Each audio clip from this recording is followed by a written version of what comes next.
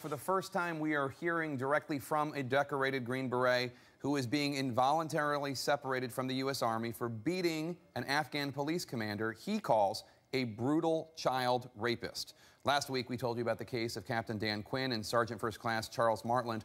Quinn left the Army on his own, but Martland is being essentially kicked out. Today, CNN obtained a statement from Martland in which the soldier says he had a moral obligation to act. In the statement provided originally to Republican Congressman Duncan Hunter, Martland writes, quote, kicking me out of the Army is morally wrong, and the entire country knows it.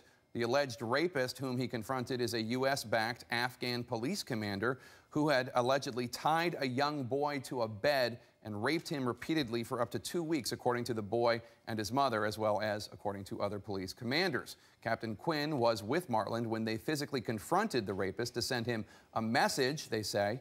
Sadly, it was not the first time the soldiers had heard of this kind of abuse in this village, but they say they had previously been told by higher ups in the Army that it was an Afghan matter and that there was nothing they could do about it.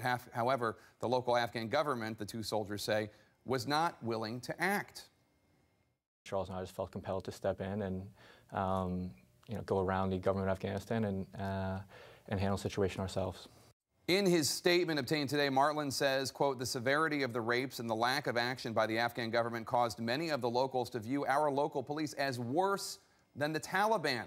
Both Martland and Quinn were relieved of their duties after the incident. Congressman Hunter has written to the Secretary of Defense, but without intervention by the Secretary of Defense or by the White House, Martland's 11 years of service, which include two Bronze Stars having been earned, will end on November 1st. The Pentagon denies any policy telling soldiers to turn a blind eye to sexual abuse. Today, I asked the president's deputy national security advisor, Ben Rhodes, about Martland. He couldn't comment on the case specifically, but he did say this. Well, Jake, uh, I, I, don't want to comment on uh, issues that have to be resolved uh, in the chain of command. Uh, that would be out of, uh, you know, keeping with uh, established practice. I will say that all of us were horrified to hear these reports of the abuse that was taking place in Afghanistan, and certainly support efforts to ensure that whatever partners we're working with in Afghanistan abide by basic human rights.